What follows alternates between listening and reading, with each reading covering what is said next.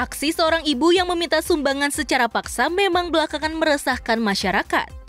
Melalui sejumlah rekaman yang beredar, ibu berinisial R tersebut diketahui telah melancarkan aksinya di beberapa wilayah seperti Sukabumi, Cianjur, sebelum akhirnya terlibat percecokan hingga diusir oleh warga dan diamankan oleh Satpol PP bersama Dinas Sosial di Bogor.